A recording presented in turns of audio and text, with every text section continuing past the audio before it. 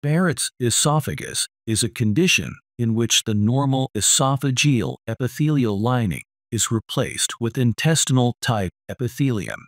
The primary concern with this condition is the increased risk of malignant transformation.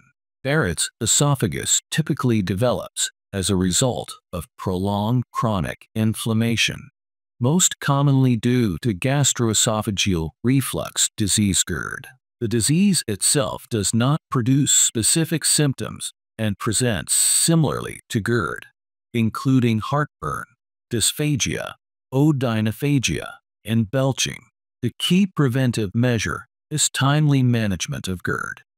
If Barrett's esophagus has already developed, aggressive treatment of GERD and ongoing surveillance of the altered esophageal mucosa are recommended during the early stages. If medical therapy proves ineffective or the mucosal changes progress, surgical intervention may be indicated, typically involving endoscopic ablation or resection techniques.